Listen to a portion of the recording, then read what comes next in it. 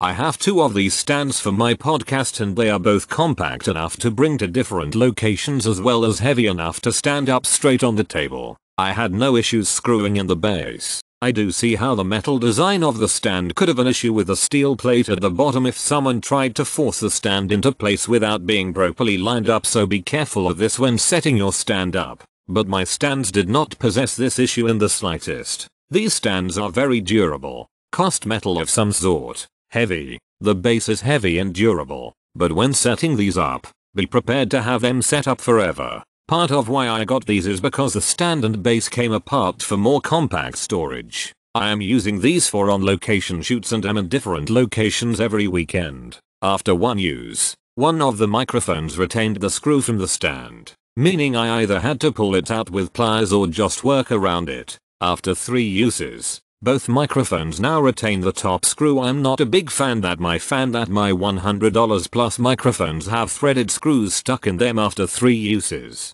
If you never tear down, these are fine, otherwise, beware. Does the job hold the mic I would have preferred it to come with a clip of some sort but that's it. Not a bad stand. These stands are perfect for what I needed. They hold the mics very securely with no thoughts of them falling or moving at all. Very sturdy and for the price you can't go wrong. It's a weighted desk mic stand that is easily adjustable. Does exactly what I expected and wanted it to do. Very affordable option.